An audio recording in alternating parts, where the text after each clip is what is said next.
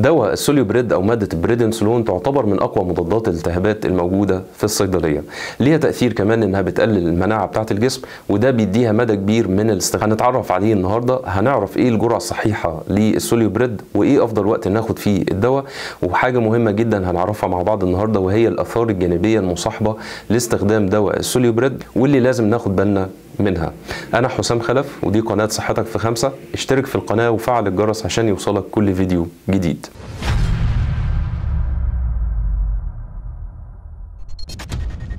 بالطبع دواء السوليبريد من الأدوية التي لا تؤخذ إلا بأمر الطبيب ولابد إن إحنا نلتزم بالجرعة الموصوفة ومدة العلاج.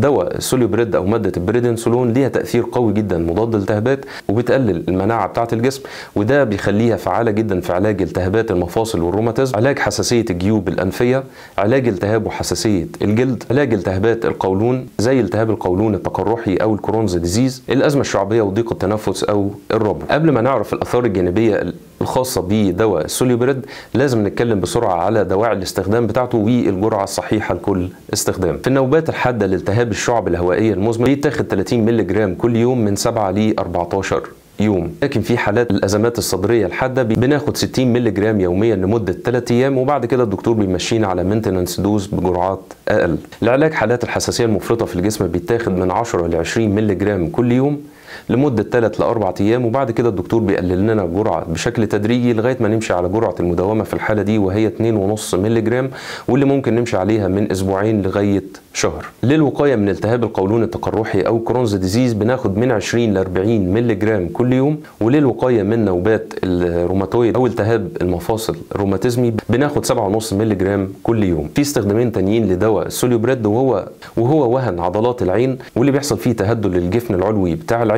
بيتاخد 10 ل 40 مللي جرام مرة واحدة كل يوم وفي حالة اسمها thrombocytic purpura اللي بيحصل فيها تجلط سطحي في الشعيرات الدموية الصغيرة تحت الجلد وتكوين بقع صغيرة تحت الجلد بيكون العلاج 1 مللي جرام لكل كيلو جرام من وزن الجسم. جرعة السوليوبريد أو مادة البريدنسولون يفضل إنها تتاخد بعد الفطار كل يوم الصبح.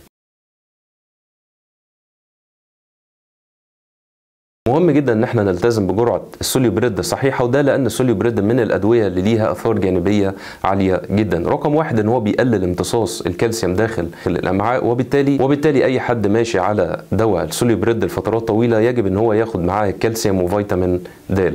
رقم اتنين بيزود مقاومة الإنسولين وبالتالي بيزود خطورة الإصابة بسكر الدم المرتفع بيسبب ارتفاع ضغط الدم وارتفاع ضغط العين أو الجلوكوما بيقلل مناعة الجسم وبالتالي بيزود خطورة الإصابة بالعدوى وبيقلل التئام الجروح ممكن يسبب نقص للبوتاسيوم في الدم وبيعمل سوء توزيع للدهون في الجسم وبيزود الشهية والنهم للأكل. وفي أثر جانبي خطير جدا لازم ناخد بالنا منه إنه بيقلل تكوين البروستاجلاندين اللي بتحمي جدار المعدة وبالتالي بيزود خطورة الإصابة بقرحة المعدة. نتمنى نكون قدمنا لحضراتكم النهارده معلومة مفيدة.